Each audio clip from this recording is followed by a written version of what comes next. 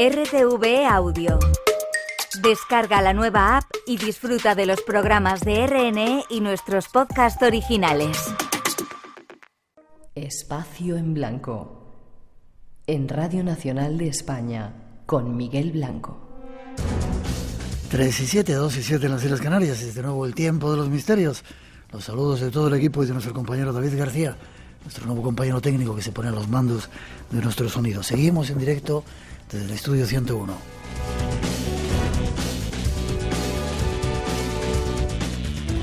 La próxima semana cumplimos mil programas en esta nueva temporada del Espacio en Blanco. No os perdáis el programa, que va a haber muchas, muchas sorpresas. Estamos con nuestro primer tema, el porvenir del viejo mundo, hablando de geopolítica con Oscar Vara. ¿Sigues a gusto? Vamos, vendría todas las semanas, ten cuidado. Un placer para nosotros. Todavía queremos contaros algo más de peligros que nos acechan.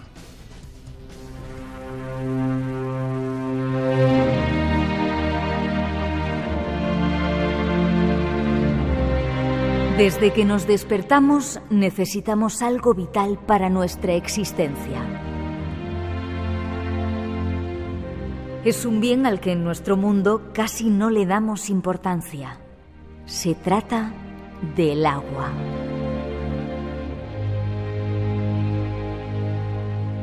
Andreu Jerez Ríos del canal Deutsche Welle nos da algunos datos. La temperatura en la Tierra aumenta. Es una realidad fuera de discusión a estas alturas del siglo XXI. Las consecuencias del cambio climático son múltiples. Afectan a la economía, a los flujos migratorios, al comercio, la agricultura, a nuestra alimentación. Y todo ello tiene una base fundamental, el agua dulce y potable. Sin ella nuestra vida en este planeta sería imposible. Agua y temperatura global están unidas de manera inevitable. El cambio climático reduce el agua disponible. Su control se está convirtiendo en un eje sobre el que giran poderes políticos, militares y económicos. Es lo que expertos llaman la geopolítica del agua, en medio de un creciente estrés hídrico. El agua dulce es un bien cada vez más escaso y disputado. En un mundo con un tablero geopolítico en plena recomposición, ¿estamos ante una era de las guerras del agua? ¿Se podría convertir el agua en el petróleo del siglo XXI? Se saludan los bomberos forestales de Melide que están en el turno de noche. ¿Alguna vez nos somos para pensar en lo importante que es el agua? La gente que estamos en este mundo nuestro. Yo creo que constantemente. Sí. Yo creo que sí. O sea, la- eh, ¿Tú crees que somos conscientes de que abrimos un grifo y sale agua y eso es uf, algo que mágico para mucha gente y sin embargo para nosotros? Piensa que, claro, que esa es la puntualización. Nosotros estamos acostumbrados a abrir el grifo Claro. y que salga un agua maravillosa, especialmente, por ejemplo, los ciudadanos de Madrid. Pero cuando sales de, de nuestro país te encuentras que el agua efectivamente es un problema para muchísima gente.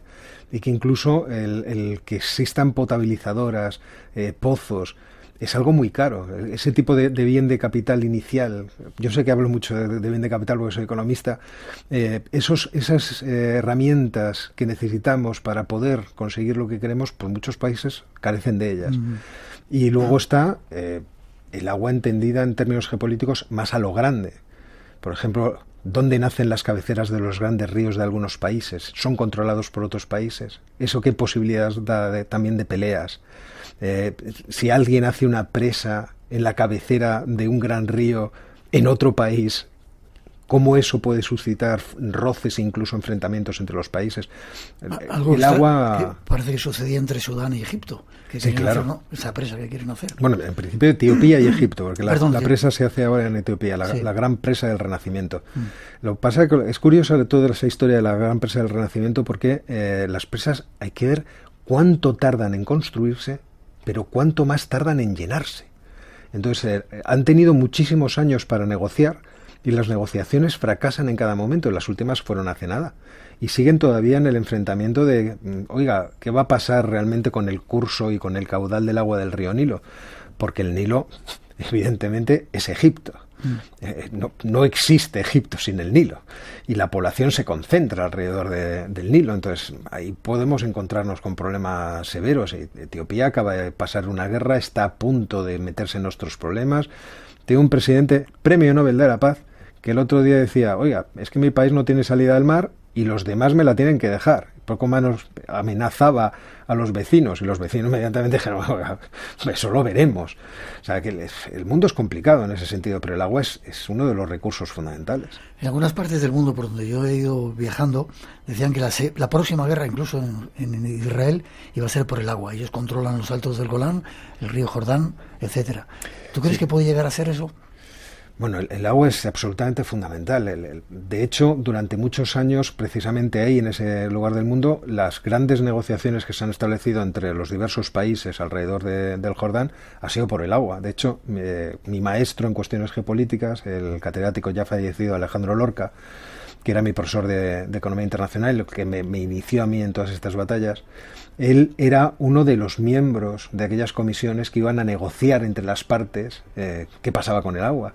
Eh, y él eh, tiene un libro muy bonito que se llama Tres ríos, dos mares, dos poderes, en donde desarrolla precisamente la conflictividad alrededor de ese recurso, que todos quieren dominar, pero todos deberían compartir, porque no es posible es lo que hablábamos antes fuera de antena. No es posible imaginar eh, el futuro, por ejemplo, de la propia Israel sin una estabilidad y una relación civilizada con sus, con sus vecinos, porque la fuerza que tiene ahora a lo mejor no la tiene en el futuro.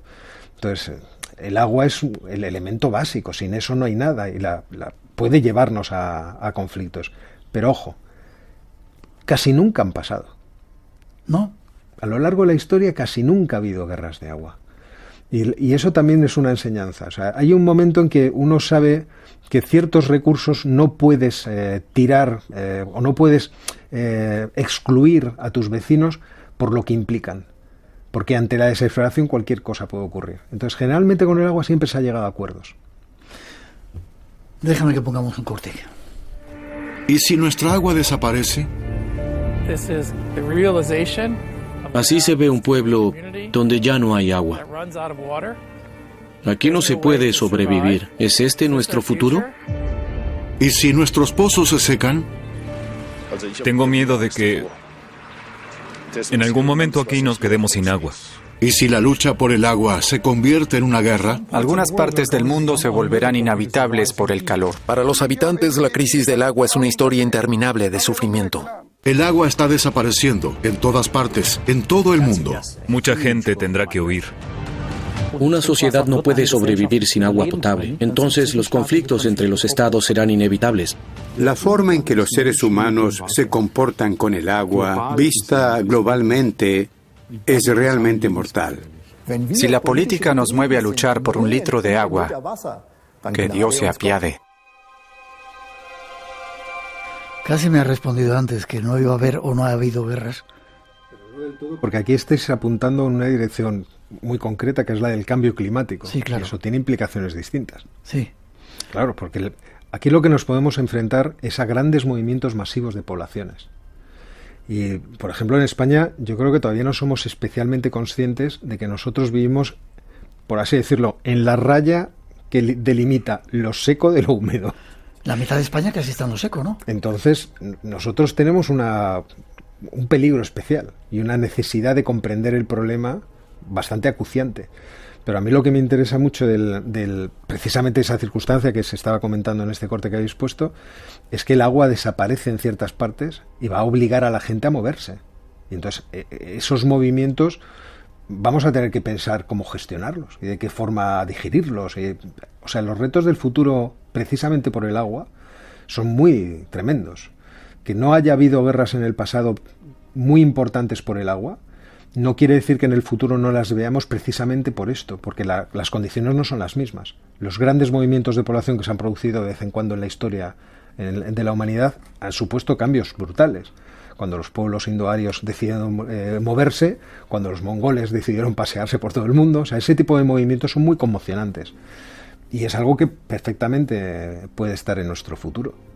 Hoy eh, salía la noticia del Pantanal, que es un lugar que yo tengo una especial predilección por él en Brasil, con cientos de, de, incendios, muriéndose los animales en el Amazonas, una sequía arrasadora, ola de calor en Brasil y en otros lugares. Tremendo eso de el cambio climático, ¿no crees? Sí, y lo malo es que yo, cuando se lo explico a mis alumnos, y sacamos datos y vemos eh, cuáles son las necesidades energéticas del mundo y cómo se pueden satisfacer, Yo no le veo solución. ¿No le veo solución? No le veo solución. O sea, yo en eso sí que soy bastante pesimista. Mira que tiendo a, no intentar serlo, pero eh, yo se lo digo a mis alumnos, digo, vamos a ver, imaginemos que tenemos que mover, seguir moviendo toda la chatarra que movemos cada día para desplazar mercancías, personas, es decir, todos nuestros vehículos, camiones, todas esas cosas. Eh, no tenemos una buena alternativa a los combustibles fósiles. Y de hecho, cuando vas a los datos, sigues viendo que el 80% del combustible que se quema o se utiliza en el mundo sigue siendo combustible fósil. Y un pequeño porcentaje son renovables, nuclear. Entonces, desde ese punto de vista, dices, ¿cómo vamos a gestionar esto teniendo en cuenta que los países en vías de desarrollo quieren tener nuestro mismo este, eh, nivel de vida, tienen que quemar energía cada vez en mayor cantidad, pero la energía que ellos tienen a mano, acumulada, es carbón que está en su subsuelo y que se está quemando. Eh, hemos visto el caso de los alemanes, se les corta el gas por parte de Rusia y ¿qué hacen? Quemar eh, carbón. Entonces no veo yo que las emisiones de, gas de efecto invernadero vayan a bajar de forma lo suficientemente sustancial. Y muchas veces le digo, deberíamos estar empezando a pensar cómo nos vamos a adaptar. Quería sacar conclusiones contigo. Eh, ¿Cómo ves el mundo del futuro? ¿Qué podemos hacer los seres de a pie para que esto vaya un poco mejor? Europa y el resto del mundo. Es complicado el, poder dar una respuesta a una cosa tan sumamente difícil. Yo creo que eh, debemos ser más generosos. Fíjate que lo comentábamos también antes fuera de, antena. A mí a veces que me dicen, eh, tú has criticado mucho las matanzas tan sádicas y terribles de Hamas y estás criticando ahora que mueran civiles por culpa de Israel en Gaza. Pero ¿qué solución había? Y digo, bueno, pues es que tengo la, la, mala virtud de ser cristiano, entonces el, la visión idealista, e imposible, claramente imposible, de decir no paremos y haga, seamos generosos. Eh, es la única que creo que, que, era razonable en el caso de, de, Israel y creo que en estos casos también.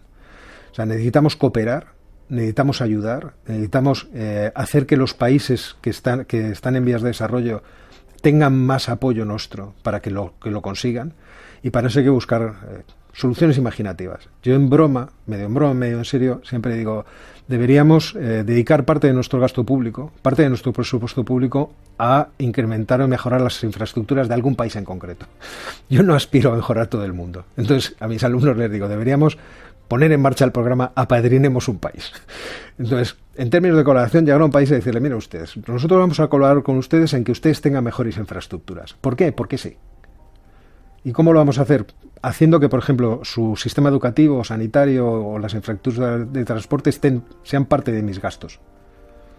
Para que ustedes mejoren.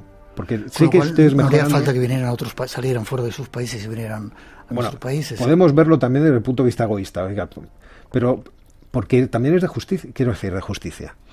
Porque es, es eh, está en nuestra humanidad. Es decir, está en nuestro sentido de la humanidad no tenemos que apelar tampoco a nada más. Es que nosotros queremos que todo el mundo esté bien. Entonces, ¿por qué no pringarnos en ese sentido? Y decir, oiga, yo le voy a hacer las carreteras, y le voy a hacer los pozos, y le voy a hacer las escuelas, y le voy a hacer los ambulatorios. Y poco a poco, pero también teniendo en cuenta cuál es su situación, ¿eh? porque en muchos países, por ejemplo, de África, el 80% de la gente vive en situación de subsistencia. Mm. Entonces, traer a esa gente a, a, a un mundo moderno requerirá tiempo. O sea, quiero decir, el dar formación a los niños para que puedan salir del campo como les pasó a nuestros abuelos y se dediquen a actividades profesionales o industriales y por lo tanto puedan tener una vida mejor y que luego haya sanidad para que ellos puedan tener una mayor esperanza de vida. Pues todas esas cosas yo creo que tenemos que empezar a pensarlas en ese sentido, en el sentido de generosidad. Oiga, es que es bueno hacerlo, vamos a mejorar todos. Lo apunto. Espacio en blanco. El misterio que va contigo. El misterio que hay en ti. La madrugada del sábado al domingo a las 2. En Radio Nacional con Miguel Blanco.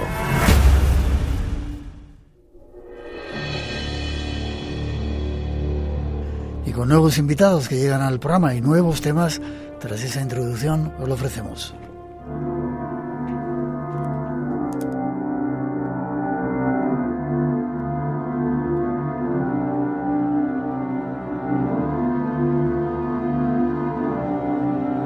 Nuestro siguiente tiempo nos servirá para conocer una aplicación que se ha puesto muy de moda.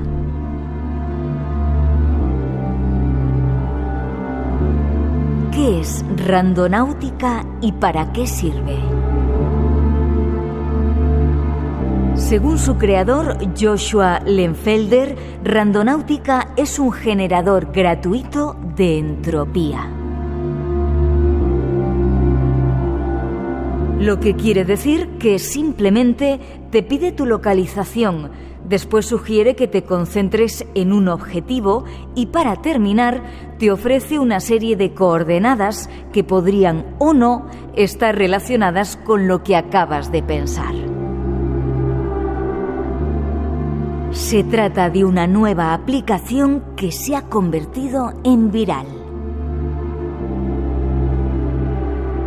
Conocerla un poco más y entender sus peligros será nuestro próximo objetivo en compañía de nuestro invitado.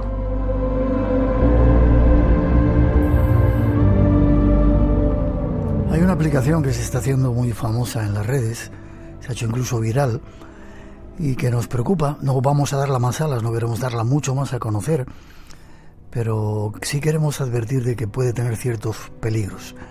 Y para ello nos vamos hasta Cádiz a hablar con un experto, Jesús Relinque. Buenas noches, Jesús. Muy buena, Miguel. ¿Cómo estás? Un placer volver a hablar contigo. Hoy un, un tanto preocupado, te, te he de decir, ¿eh? pero un placer hablar siempre contigo. Muy bien. Bueno, bueno, vamos a hablar un poquito de randonáutica y para que, que la gente sepa de, de, qué va, ¿verdad? Vale, déjame que te presente. Ingeniero técnico informático, escritor, has escrito un montón de libros, casi siempre, bueno, muchas de las veces tienen que ver con los videojuegos, como Génesis, guía esencial de los videojuegos españoles, Continue, sí. Continue Play, a programar se aprende jugando, la enciclopedia PlayStation, Expediente V, que estuviste en el programa hablando de ello, Misterio de Videojuegos, y menos mal que has hablado de tu ciudad, como la ciudad, la ciudad oscura, Jinetes del Sueño, La llave de los misterios, una especie de novela mostrando algunos lugares mágicos de ese Cádiz mmm, magnífico que tenéis ahí. Bueno, como no tengo mucho tiempo, vamos al tema, randonáutica. ¿Qué es esto?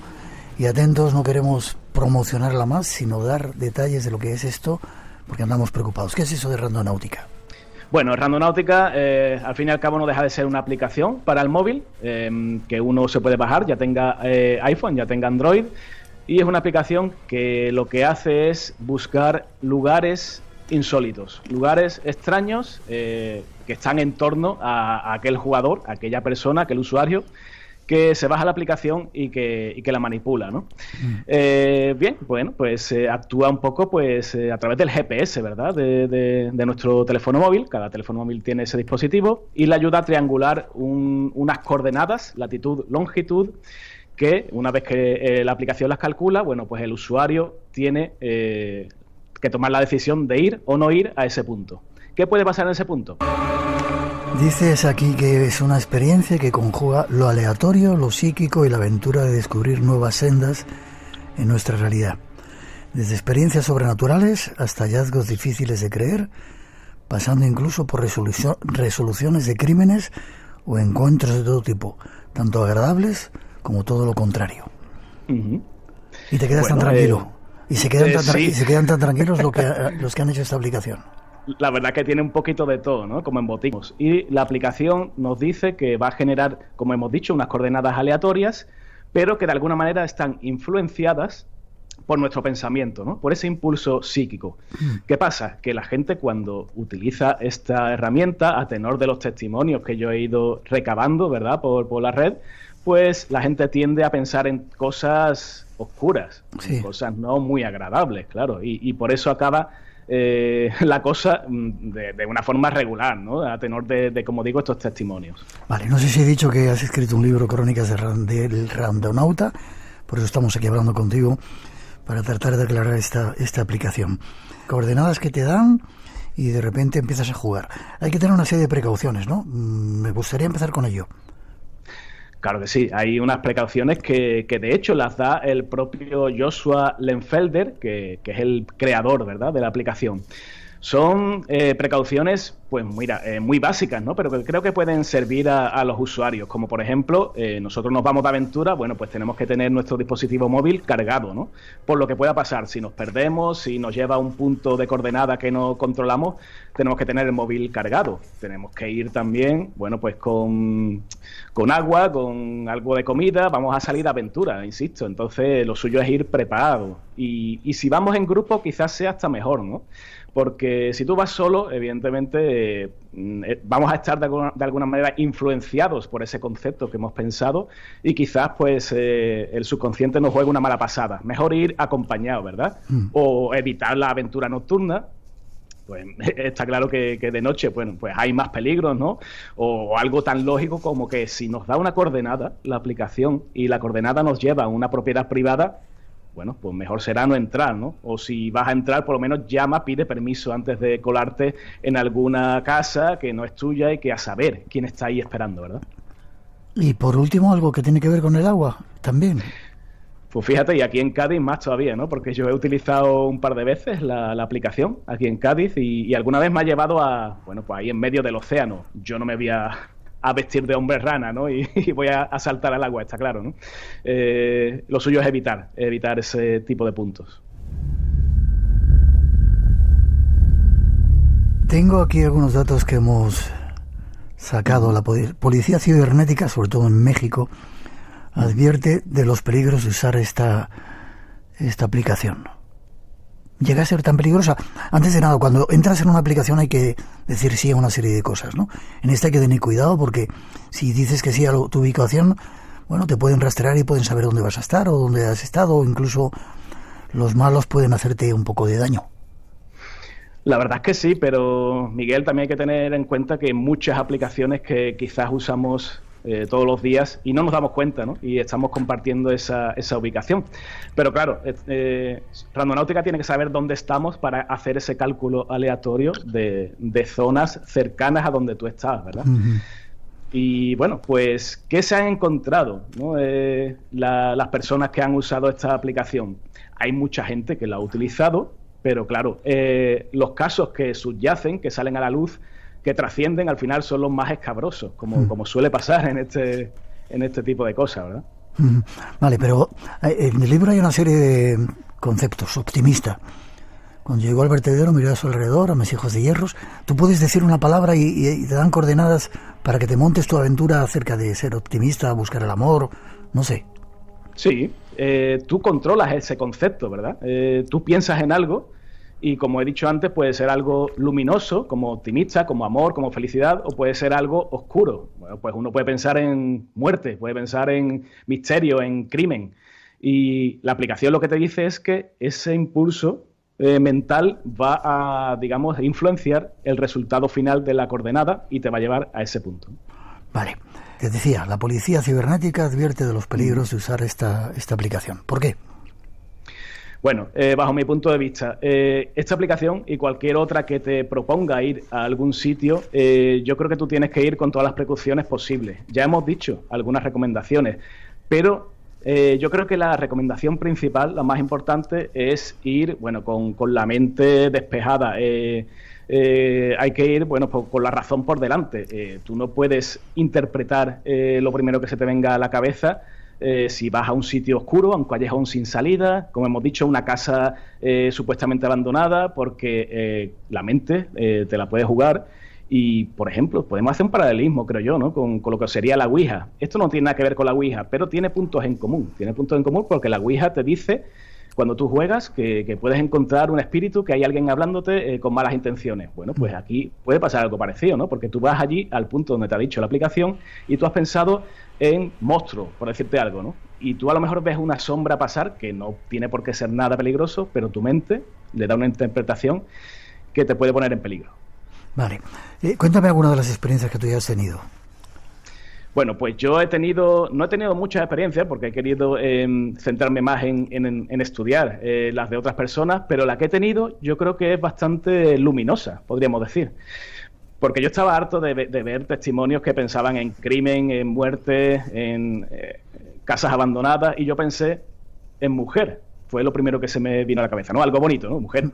Y la aplicación me llevó, fíjate, Miguel, a, las afueras de Cádiz, cerca del estadio donde juega el Cádiz Club de Fútbol, eh, un descampado donde yo, pues, conocí y, iba a pasear con mi primera pareja. Y yo creo que fue algo, fíjate, bonito.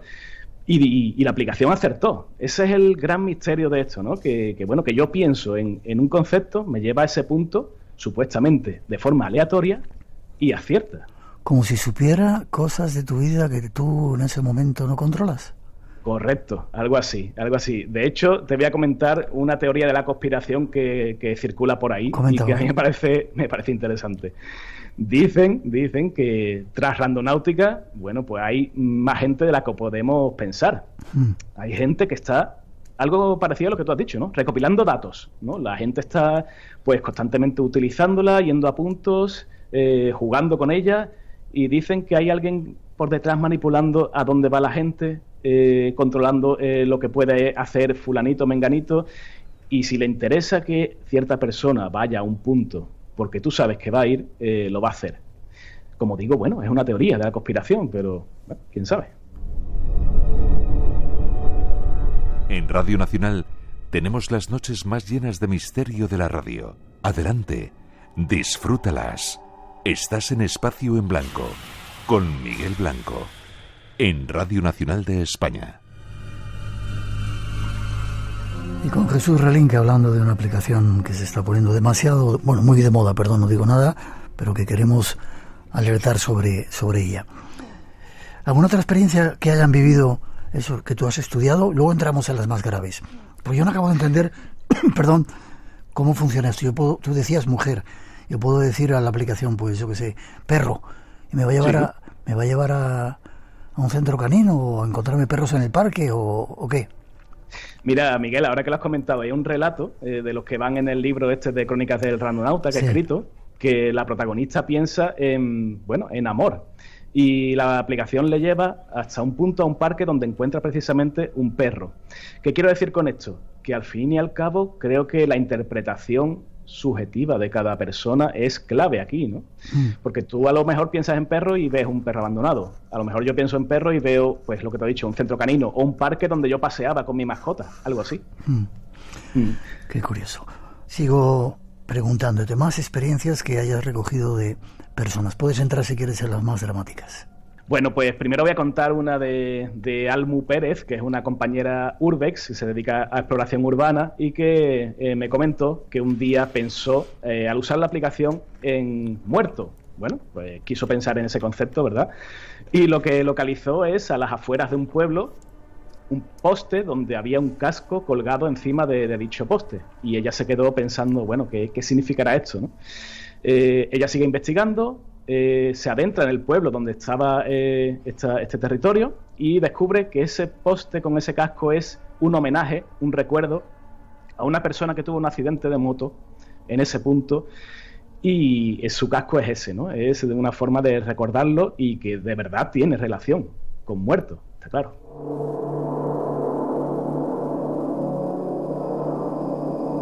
Cuanto más me cuentas, más, más extraño y por lo menos peligroso para mí me parece es como si supiera también no solamente lo que, lo que quieres encontrar, sino que te va guiando de acuerdo a lo que tú deseas encontrar, con lo cual sabe mucho de ti. Sí. Tremendo, ¿no? Hombre, la verdad es que es para pensarlo, porque ten en cuenta que creo que aquí lo más misterioso de todo es que la aplicación no te pide que tú escribas en modo texto en la palabra, no, no, que la pienses. ah, eso, te, iba a decir, a ver, ¿de qué manera se te, comunicabas con ella? ¿Solamente pensarla? No tienes que escribirla ni, ni decir em, con palabras. nada, es focalizar en ese concepto. De ahí que yo lo haya definido como brújula psíquica, ¿no? Porque claro, es un, un, dispositivo que te dice una coordenada, pero que también intercepta ese pensamiento. Esa es la definición de randonáutica. ¿Y cómo intercepta los pensamientos? Buena pregunta. Buena pregunta, pero es verdad que hay investigaciones eh, desde, desde, hace muchos años de muchos científicos que, bueno, que profundizan en la interacción entre mente y materia, ¿no? Hmm. Em, por ejemplo, eh, imagínate, Miguel, que disparamos, que bueno, cogemos una, moneda, la lanzamos al aire y, y lanzamos 10.000 veces esa moneda, ¿no? La distribución de, de la aleatoriedad nos dice que habrá un 50% más o menos de cara y un 50% de cruz. Bueno, pues si nosotros pensamos, enfocamos uno de esos resultados, cruz, por ejemplo, la interacción mente-materia dice que con nuestro enfoque mental vamos a eh, determinar que salga más veces cruz que cara. Esa es la definición. Y es lo que ocurre aquí, en teoría.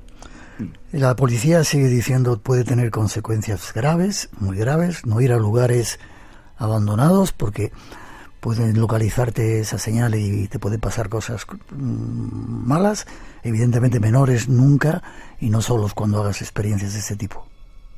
Pues mira, Miguel, te voy a contar un, caso que involucra a menores eh, y que ocurrió aquí en, España, concretamente en Santoña, en Cantabria. Eh, fue en verano, este eh, verano de, este mismo año, y bueno, un grupo de chavales utilizando la, aplicación les llevó a un edificio abandonado allí en, Santoña y, resulta que entre malezas, residuos y tal encontraron una persona boca abajo que al final resultó que, que era un cadáver, ¿no? Eh, estos chavales llamaron a, la policía, a emergencias y tal, y al final determinaron que, bueno, que no se conocía la identidad de esta persona, que de verdad estaba fallecida y que sí, eh, acertó completamente la aplicación con este punto. Creo que hay otra historia también de una, una mujer que no sé qué había pedido y encontró en una maleta también un cadáver descuartizado. Totalmente. Este yo creo que es el caso más popular, ¿verdad? Y, además pasó en, en, 2020, en plena pandemia. Fíjate, había gente que, que, en vez de quedarse en casa, bueno, pues salía por ahí de aventura, digámoslo así, con Randonáutica. Y, y esto ocurrió en Seattle. Y fue un grupo de personas que, que retransmitían precisamente sus aventuras por la red social de TikTok. Pensaron en turismo, turismo o viaje, ¿vale? Ese era el concepto mental y la aplicación les llevó a una playa de Seattle donde había una maleta. Y claro, uno podía pensar, maleta, viaje, turismo, bueno, tiene cierta relación. ¿Qué pasa? Que en la maleta, que despedía un hedor terrible, cuando la abrieron vieron el restos de, dos cadáveres descuartizados que después, cuando la policía entró en juego para investigar, vieron que, bueno, que habían sido asesinados por un casero eh, allí en Seattle que, había tenido una trifulca con, con sus inquilinos y no se le había ocurrido otra cosa que descuartizarlos, meterlos en una maleta y dejarlos en la playa. Cosas que ocurren a veces en los Estados Unidos.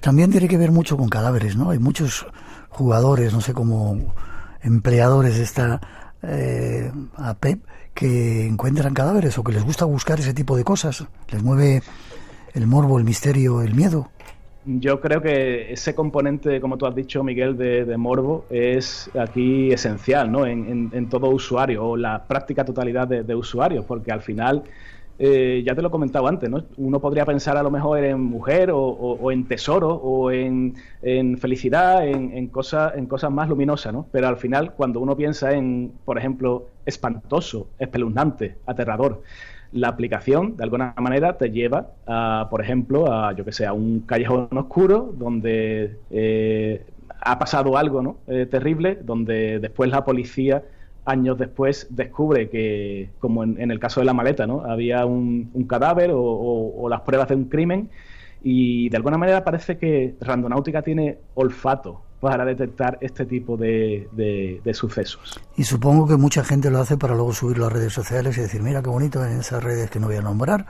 mira dónde he estado, mira lo que he encontrado, ¿no? Para que tenga muchos, muchos me gustan, me gusta decir like, muchos me gustan y muchos seguidores.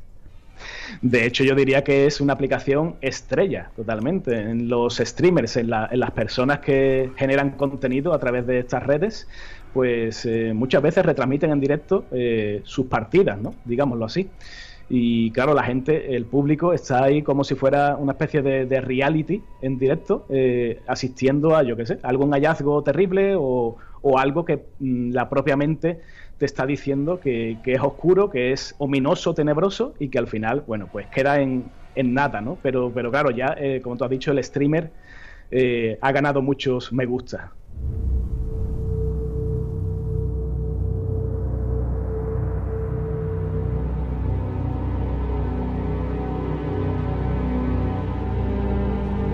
Me da mucho miedo eso de que solamente compensar una cosa, una aplicación te pueda adivinar. Me, bueno, me da sensación, y te pregunto, ¿nos estamos volviendo bobos por sustituir nuestra vida por una aplicación, ¿no será más bonito salir al campo, a las calles esas de Cádiz, observar y vivir la cantidad de cosas que tiene que haber por ahí o en el campo? Te voy a hacer una reflexión, Miguel, ahora que lo has comentado. Eh, Joshua Lenfelder, que es el creador, como hemos dicho, de la aplicación, se basa para hacer randonáutica en, en una cosa muy bonita que es la teoría de la deriva. Esta teoría lo que dice es, bueno, pues estudia el, el comportamiento humano cuando salimos a la calle, a un entorno urbano, rural, a, a, deambular, a pasear, a, bueno, pues pasear por, por gusto, ¿no? Por descubrir cosas que nos han pasado desapercibidas. Y yo creo, sinceramente, Miguel, que para hacer eso, por Cádiz, por donde sea, por Uf. cualquier punto de la Tierra, se puede hacer sin ningún tipo de aplicación, ¿verdad? Uf, solamente con los ojos abiertos y ganas de pasear y de charlar. Ahí está, Crónicas del Randonauta, un libro escrito por Jesús Relinque hablando de algo que se está poniendo, se ha puesto muy de moda. Desde aquí queremos advertir, no queremos hacerle más promoción. ¿Forma de contacto contigo? Me podéis encontrar en la página web jesusrelinque.com eh, o si me buscáis por Twitter, eh, Jesús Relinque, ahí estaré para, para, despejar cualquier duda que tengáis. Perfecto. Yo me apunto más, Jesús, contigo a pasear por esos lugares mágicos de Cádiz, ¿vale? Sin necesidad, sin necesidad de aplicaciones, ¿eh? Tú y yo juntos. No, no, yo a pasear, a pasear, Eso. Miguel. Gracias, ha sido un placer. Un abrazo. Te mando un abrazo fuerte, hasta prontito.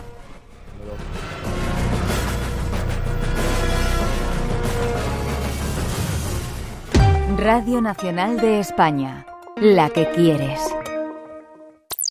Sed bienvenidos, princesa de Lure y Link. Dispones de múltiples universos creados especialmente para que despliegues todas tus destrezas. Como un traspaso soñado que se hace real. Elige cómo quieres ser. ¿Estás dispuesto a sacrificar todo lo que amas? Y dale al play. Lo estoy. Somos gamers. Un podcast para descubrir todas las disciplinas artísticas que intervienen tras la pantalla de un videojuego. Aquí vas a escuchar a expertos invitados que trabajan en la industria y a celebs muy gamers. Descúbrelo en RTV Audio y en las principales plataformas de audio. Todo el mundo puede jugar a los videojuegos. Somos gamers. Que comience la partida. Y recuerda, no es un día cualquiera. Los fines de semana desde las ocho y media de la mañana. RTV, la que quieres. Muy buenas madrugadas desde Bilbao. Quería saludaros a, todo el equipo de Espacio en Blanco, a todos los oyentes, mandaros saludos muy cordiales desde aquí, desde Bilbao. Os escucho desde que empezó el programa. Eh, gracias, gracias por, por vuestro trabajo, por los invitados excelentes que traéis cada semana y por hacernos las madrugadas del domingo mucho más amenas. Un abrazo fuerte a todo, a todo el equipo de Espacio en Blanco y oyentes. Gracias.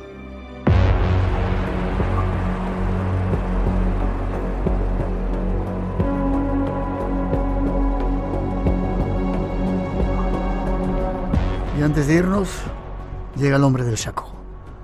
Es lo que nos, va a contar nuestro compañero Juan Gómez. Buenas noches, Juan. Muy buenas noches, eh, como siempre un placer, Miguel. O sea que esta noche nos vas a contar historias del hombre del saco. Sí, el hombre del saco, lo que pasa es que ya sabemos que el hombre del saco es una historia que tiene que ver pues eh, con una leyenda, leyenda urbana, pero ¿qué es lo que ocurre cuando esa leyenda se convierte en realidad y cuando todo desemboca en algo absolutamente desconcertante y sobre todo tenebroso? Bueno, pues eso ha ocurrido en Estados Unidos, ocurrió en los años 80, pero sigue y permanece a día de hoy, como vamos a comprobar esta noche, en un lugar en concreto, en Nueva York, donde dicen hay un auténtico hombre del saco.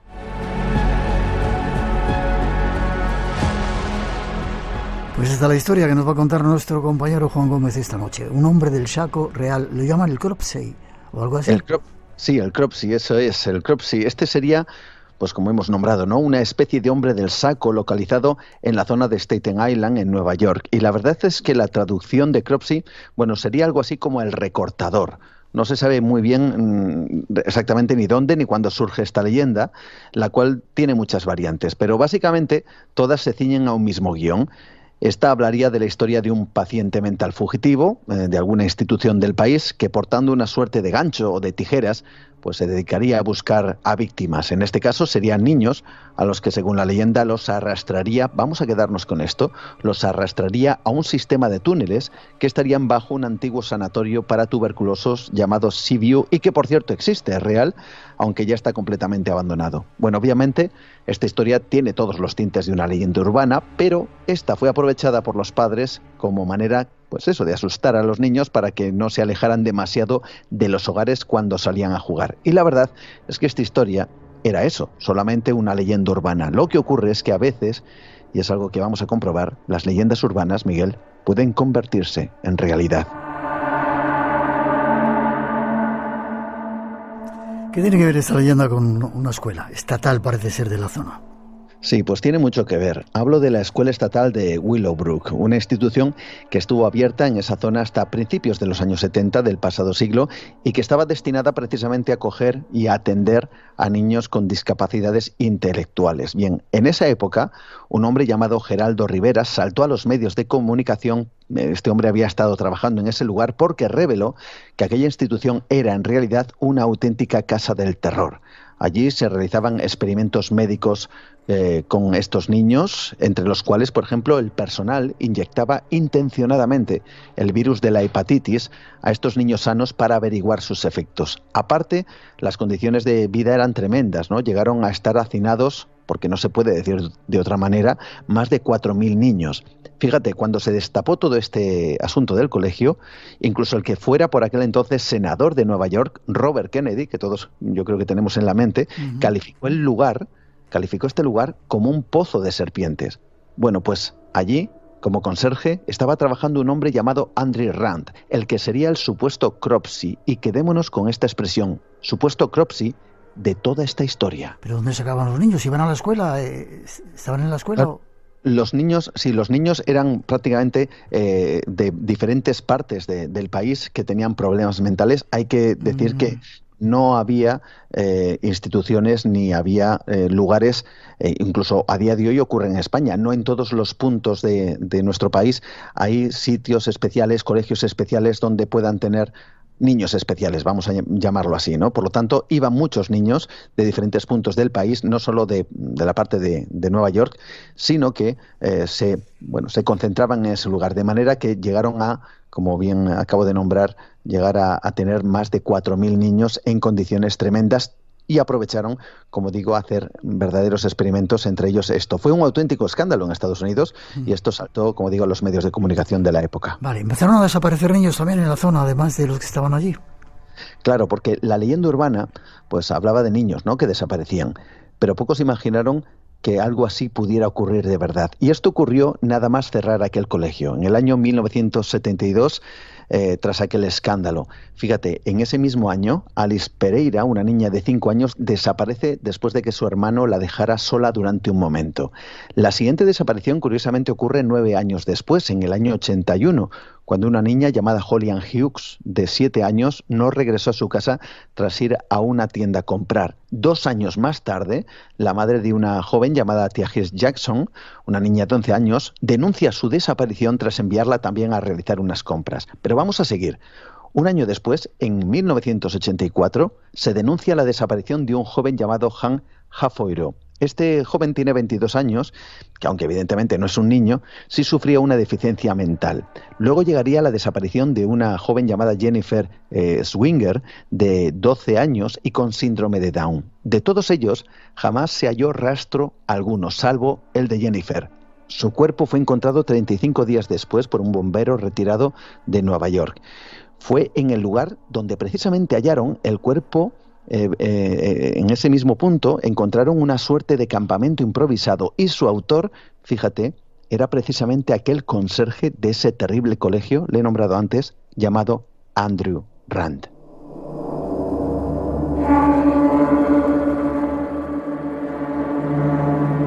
¿Qué me estás contando? ¿Que hacían sacrificios humanos con los niños?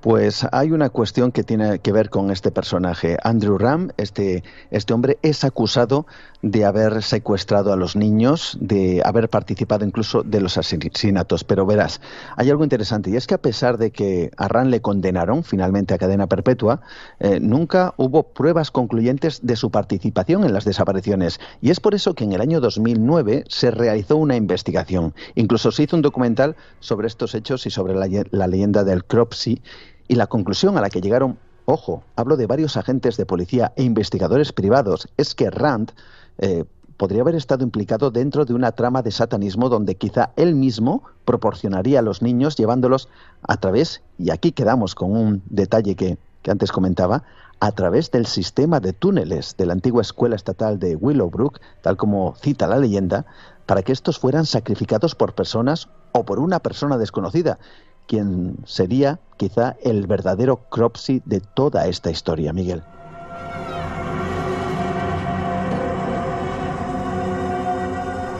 Que ver cuando uno rasca la realidad lo que sale cuando, bueno, cosas que quizá no, no queramos saber. ¿Qué, ¿Qué, es de este colega Andrew Rand en la actualidad? ¿Sigue en la cárcel? Sigue en la cárcel. De hecho, se descubrió que su nombre real no, no era Andrew Gang, sino Frank Rasman. Él tenía ese alias. Fue sentenciado a 25 años de prisión.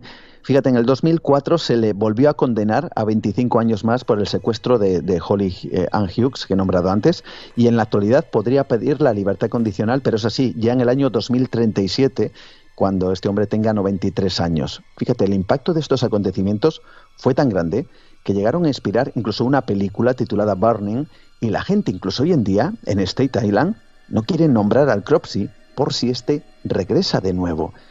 Algo alucinante.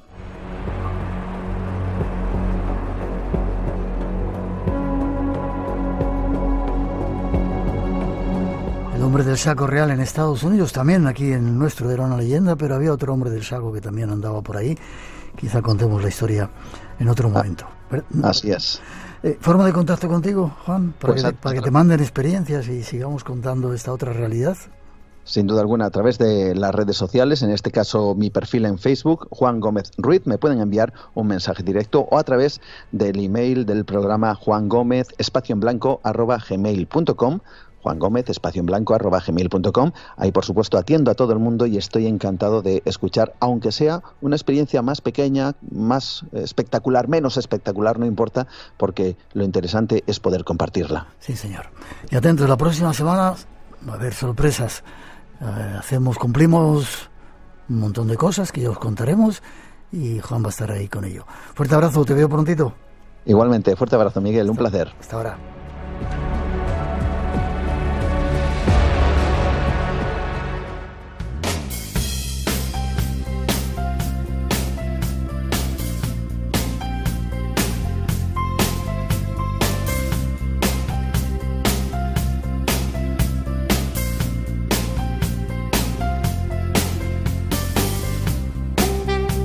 A punto de terminar ya, seguimos recibiendo saludos desde Zapatecas en México, desde Amot en Noruega o desde la ciudad universitaria de Binghamton en Nueva York. Gracias a todos por esos saludos. Si queréis mandar más, nos encanta. Este es el teléfono 633 50 50 11. Eso cualquier nota de voz, si habéis vivido alguna, alguna aventura o experiencia, la estamos esperando en el espacio en blanco.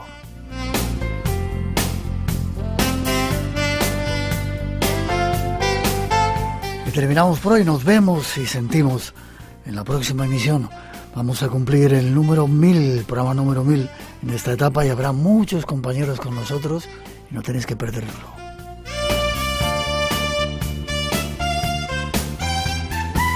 Nosotros pensamos seguir durante mucho tiempo por este camino de los misterios buscando respuestas.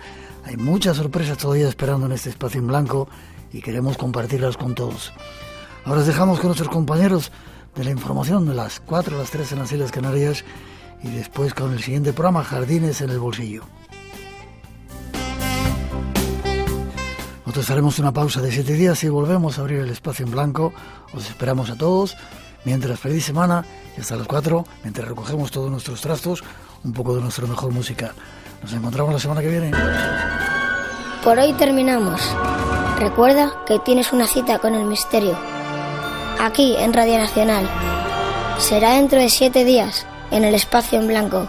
Hasta entonces, feliz semana.